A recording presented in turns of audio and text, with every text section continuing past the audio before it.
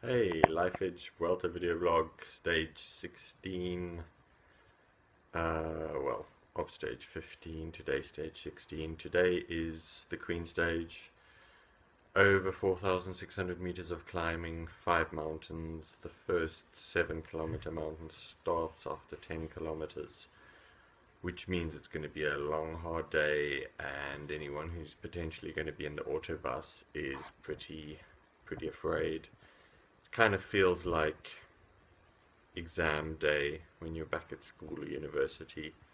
Um, you know, everyone is really nervous about today. The GC guys, obviously, because they need to be up there. Today's not the day to be feeling off.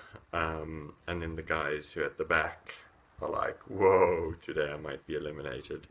Uh, everyone kind of thinks that if you get through today, you'll probably get through all the way because tomorrow's a rest day. Uh, yesterday kind of looked a lot easier on paper than um, than today, definitely.